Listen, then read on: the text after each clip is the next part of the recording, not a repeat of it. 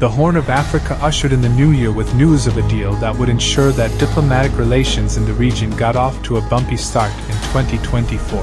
Ethiopia, it was announced on January 1st, had signed a memorandum of understanding with the breakaway region of Somaliland, opening the door to an agreement to exchange a stake in flagship carrier Ethiopian Airlines for access to the Gulf of Aden. Such transactions of economic reciprocity are generally routine, as scholars of international relations and law like myself are aware. But this deal has another element. It intertwines sea access with Ethiopia's formal recognition of Somaliland, and this has sparked quite a diplomatic stir.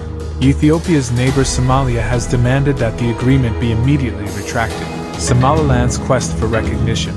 Since declaring independence from Somalia in 1991, Somaliland has operated as a fully functional de facto state, boasting its own defined territory, population, and government.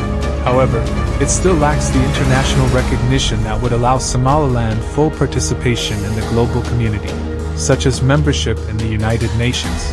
A formal nod would also unlock access to protections under international law and economic opportunities. The agreement with Ethiopia would be a step toward providing that critical missing link. Rising regional tensions. In the days since the Memorandum of Understanding was inked, tensions have deepened between Somalia and both Ethiopia and Somaliland.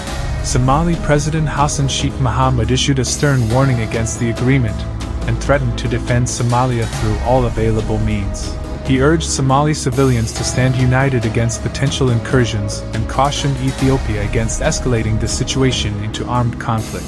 Uneasy international response. Global attention to growing tensions in the Horn of Africa has been mounting.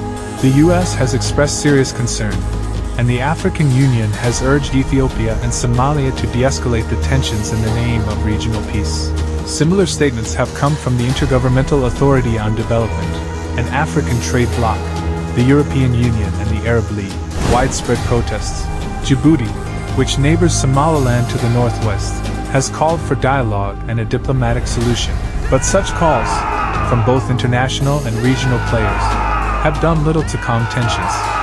In the days since the deal was announced, tens of thousands Somalis have protested in the streets of Mogadishu, calling the move an aggression against the nation's sovereignty and while residents of both Somaliland and Ethiopia have largely supported the memorandum, hopeful in turn that it would lead to international recognition and economic uplift, not everyone is behind the deal.